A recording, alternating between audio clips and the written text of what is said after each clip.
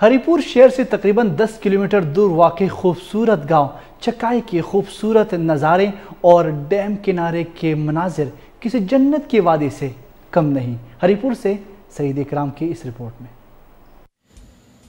हरिपुर शहर से तकरीबन 10 किलोमीटर दूर छप्पर रोड से बीड़ की तरफ़ जाते हुए बलखाती रोड, पहाड़ों में गिरे गाँव और झील किनारे वाक़ खूबसूरत और दिलफरेब नज़ारों का गाँव चिकाई।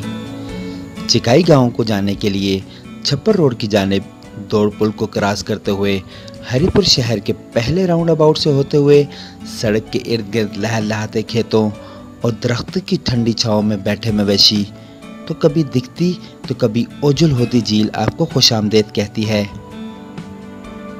एक तरफ़ ऊँचे ऊँचे पहाड़ों के खूबसूरत नज़ारे तो रोड की दूसरी तालब तरबेला डैम के दिलफरेब मनाजर, यूँ कि जैसे आप किसी जन्नत की वादी में घूम रहे हैं। सड़क के किनारे घूमते बहुत से मवेशी जो इस पुरफजा मकाम में चहलकदमी करते आपको दावत नज़ारा देते हैं।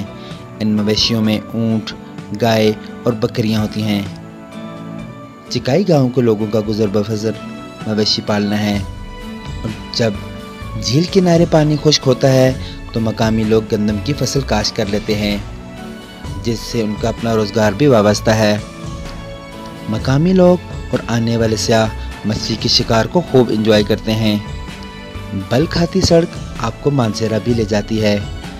खूबसूरत पहाड़ों के दामन में वाक़ चिकाई गाँव और लहराती डैम की मौजें दिलकश नज़ारा पेश करती हैं। चिकाई गाँव के मकामी लोग हिंदको ज़बान बोलते हैं। यहाँ गाँव में शाम की तरफ़ बढ़ता दिन और पुरफजा मकाम और दिलकश व हसीन नज़ारे किसी जन्नत से कम नहीं। जो भी एक बार चिकाई गाँव का विज़िट करता है तो यहाँ पे बार बार आना चाहता है। कैमरामैन टीम के साथ सईद अकरम के टी वी हरिपुर।